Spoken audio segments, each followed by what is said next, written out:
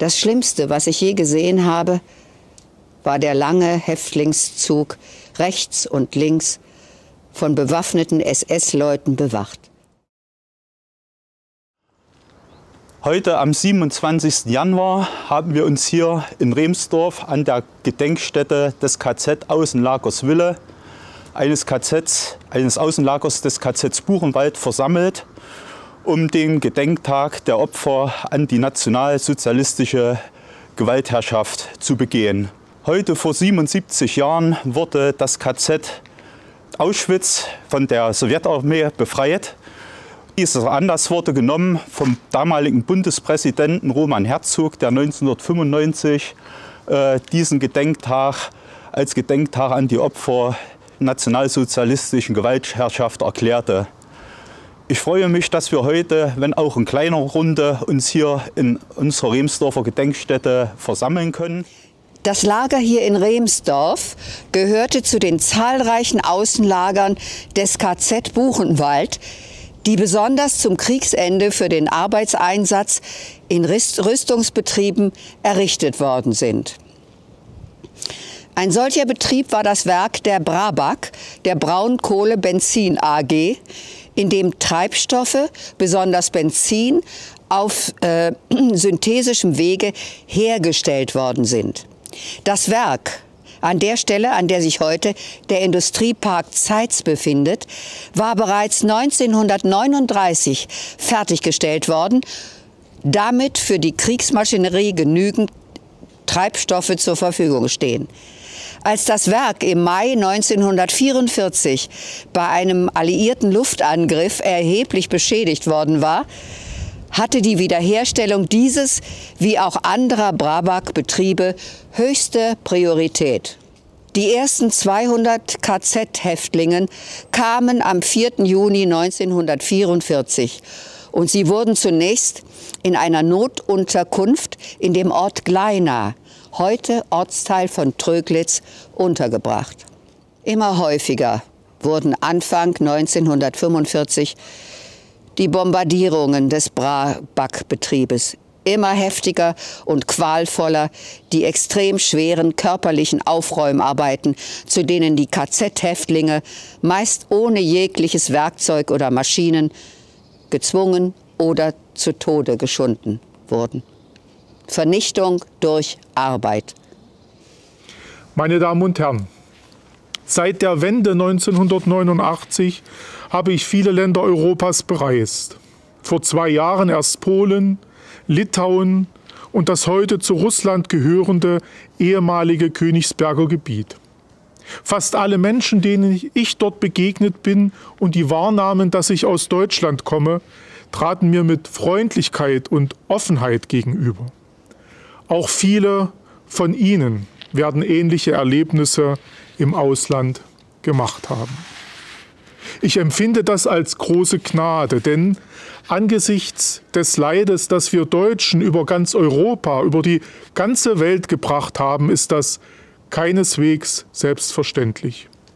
Sicher hat dazu auch beigetragen, dass Konrad Adenauer die Aussöhnung mit Frankreich betrieb und die europäische Einigung voranbrachte, dass Willy Brandt 1970 am Ehrenmal für die Toten des Warschauer Ghettos niederkniete oder dass wir gemeinsam 1989 bewiesen haben, dass wir gesellschaftliche Veränderungen friedlich vollziehen können. Dennoch gäbe es genügend Gründe, mit uns weniger freundlich umzugehen. Neben der Shoah auch die kollektive Vernichtung von Sinti und Roma, die NS-Krankenmorde, die Aktion T4 zur Ermordung Behinderter und die Kindereuthanasie. Wir dürfen daher dankbar dafür sein, dass uns die Völkergemeinschaft Europas und der Welt wieder als gleichberechtigter Partner aufgenommen hat. Deshalb ist mir die Formulierung, dass von deutschem Boden diese Verbrechen ausgingen und sich nie wiederholen dürften, viel zu wenig. Es war ja nicht der deutsche Boden, sondern Täter waren wir Deutschen selbst. Es waren unsere Großväter und Urgroßväter, unsere Großmütter und Urgroßmütter, von denen viele mitliefen, mitwussten oder sogar mitmachten.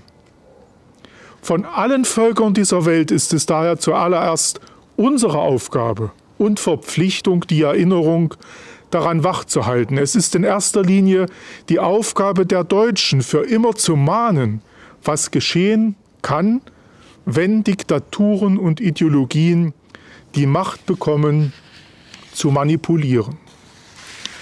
Alle, die versuchen, die Erinnerung daran zu verwischen, den Holocaust und die Verbrechen zu leugnen oder zu relativieren, verletzen daher diese Ewigkeitsverpflichtung des deutschen Volkes.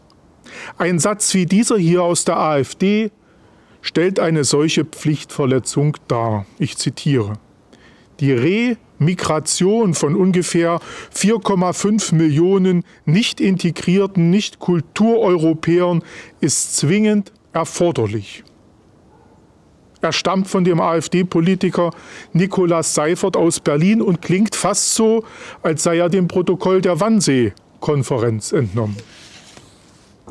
Pflichtverletzer sind auch diejenigen Menschen, die als Demonstranten mit Jugend Judensternen gegen die aktuelle Corona-Politik auf die Straße gehen oder die gegenwärtige Pandemielage mit dem Holocaust vergleichen oder gar gleichzusetzen, gleichsetzen.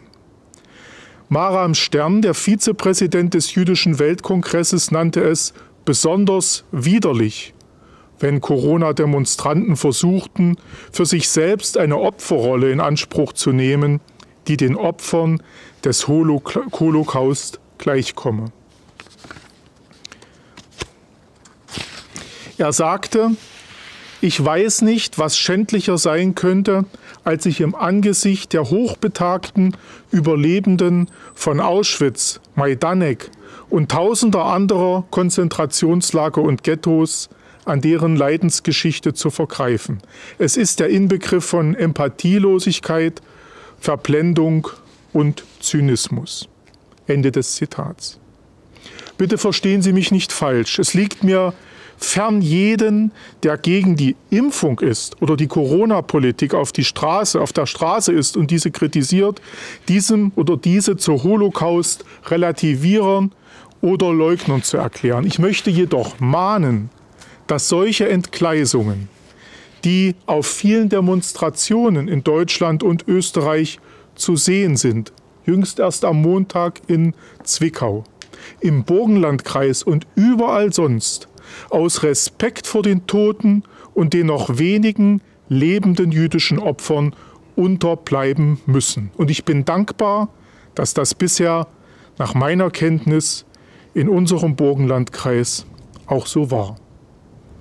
Ich danke Ihnen allen für Ihr Zuhören und wünsche Ihnen am heutigen 27. Januar 2022 einen nachdenkenswerten Tag.